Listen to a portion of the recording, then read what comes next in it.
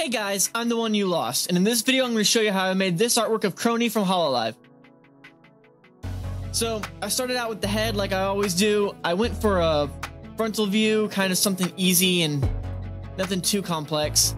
Um, I actually really, really messed up the, uh, the structure in the beginning, and you'll see as this artwork goes that I'm just constantly changing it because my god, it looks terrible.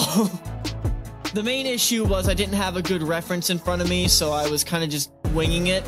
Um, it is super important whenever you're drawing to have a reference. Don't make my mistake. Don't do this to yourself. Trust me, it's just, it's not good.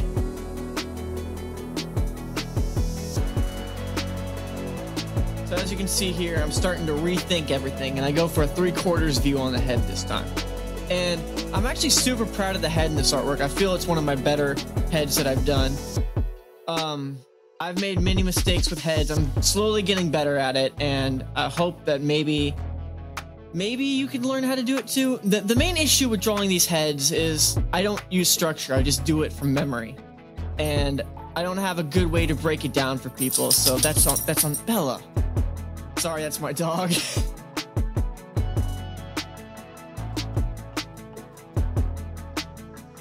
So I started off with kind of this dynamic pose, but again, I only end up using half the body for this artwork, even though I drew a full body. Um, I just didn't like the full body pose, so I ended up getting rid of it. Also, if you like this video so far, it would help me out a whole lot if you'd like, comment, subscribe, hit the bell. It helps out a whole lot. Um, I usually say this at the end, but I'm going to try saying it in the beginning here just to kind of I don't know, maybe hope that you guys do it. So as you can see, I kind of tried to go for like a collared shirt thing, but then I thought, I don't know if I like that. So I started going for kind of a, a summer nightgown, maybe is the best way to call it. Um, I just wanted to look like a pretty like draping dress. I've always enjoyed making that, so that's kind of what I did here.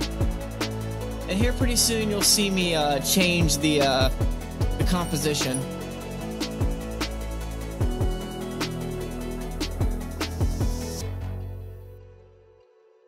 Adding the straps to the dress.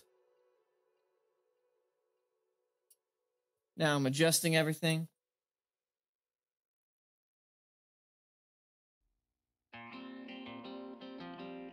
Now I'm starting to add the eyes. Um, the eyes in the sketch actually weren't that great, but the final product I managed to fix it, so that's yay, yay for fixing later. Okay, there's a huge jump in time here because I forgot to turn my recording back on, so we're going straight into the line art. But um, I I adjust manual thickness. Um, actually, my mistake. I don't know why I said it that way. I um I do my thickness of my lines manually. Um, there's a little bit of pen pressure, but not enough to be like a huge factor in it. I just prefer to draw the thickness in myself.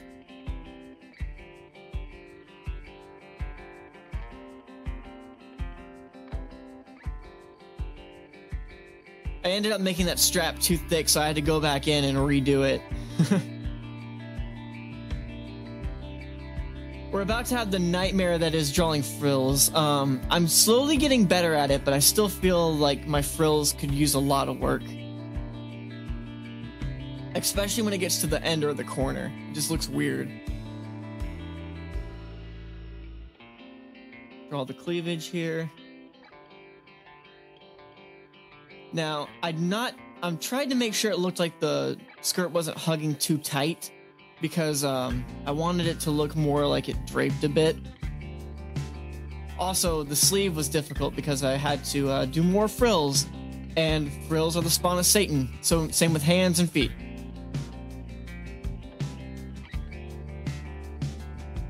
Bro, the moment AI figures out hands, I'm just gonna like be like, darn.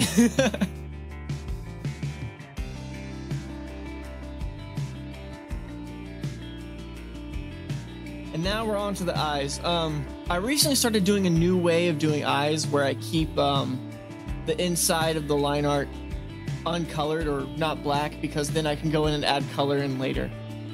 And I think that ends up looking really good. Okay, so now for the hair. Okay, so the way I do hair is I try to curve to the shape of the head. hair kind of falls over the head as it kind of it basically wherever your head the line of the forehead is you want it, your hair to follow it almost like there's a, a bowl on top of the character it is incredibly difficult to explain hair for me because for the most part I just do it off of uh, feeling at this point. There's a lot of curves. Sometimes you want to make your hair overlap the previous bit of hair and that tends to look a lot better.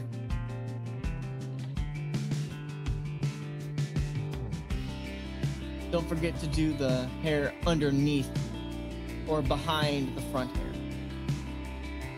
I end up drawing a little bit of uh, the ear there as well. So I was looking for my uh, braid brush that I used to have, but I guess it's not on my new computer, so now I gotta remake it.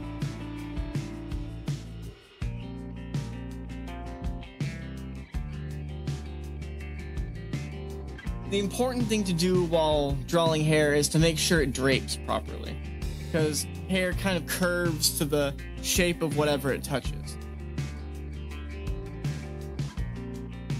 You got to think in terms of weight most of the time.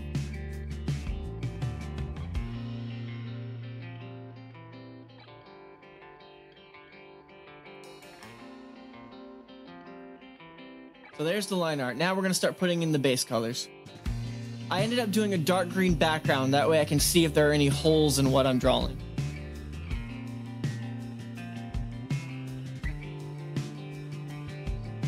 Went ahead and shaded before I did all the rest of the base colors, and I don't normally do that, but for this time I did. I'm not sure why I did it, but I just wanted to render the skin. I guess I was a little bit antsy to get that done.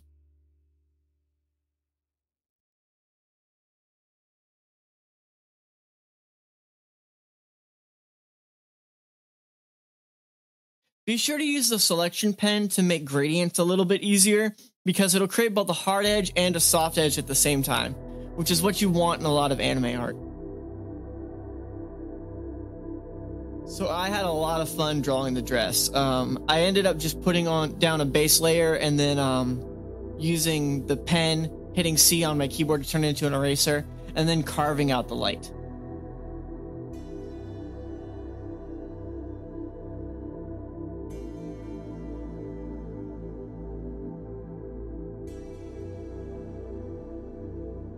I felt like the darker areas I didn't do very good on, but they'll pass, I guess.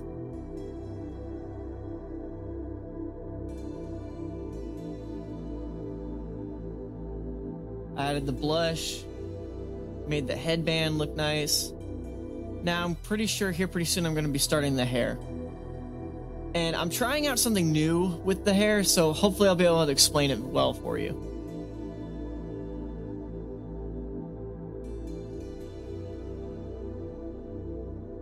I forgot the bell while I was rendering, so it's a good thing I ended up remembering to put the bell in.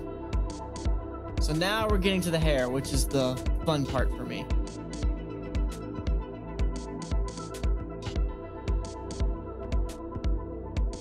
There we go. So first thing I did was I added a light source and kind of carved it out. It's always good to start that way in my personal opinion because it gives you a good direction for where to put the light. I then add kind of a highlight that's a little bit less than the bright and an add glow on top of the hair to like get a little bit of the skin color reflecting onto the edges where the hair touches the skin. And then the eyes I kind of just paint in myself. Uh, I have an eye tutorial in my uh, tutorials playlist on YouTube that might help. I then add some post processing and we are almost done.